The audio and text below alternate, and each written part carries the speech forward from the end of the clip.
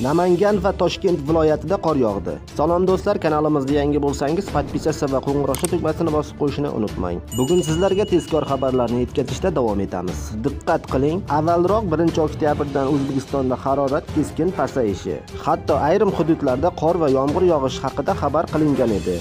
1-oktyabrdan 2-oktyabrga o'tar kechasi Qamchiq davomida qor yog'di.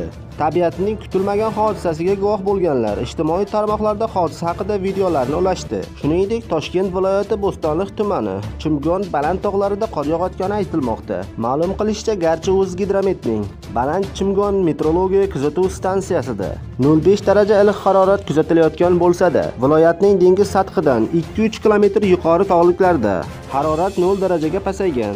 Videomiz sizga foydali bo'lgan bo'lsa, like tugmachasini bosib qo'ying va kanalimizga obuna bo'lishga harakat qiling.